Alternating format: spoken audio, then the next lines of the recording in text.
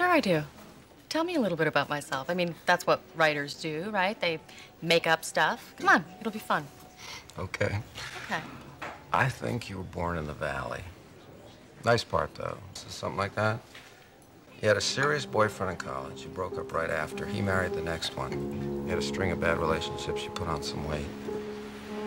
You looked around, you saw all your friends starting to pair up and get married, so you decided you should lose the weight. But what you really want to do sit at home on the couch with some poor sap watching reality TV while he watches you get fat again. Okay, Hank.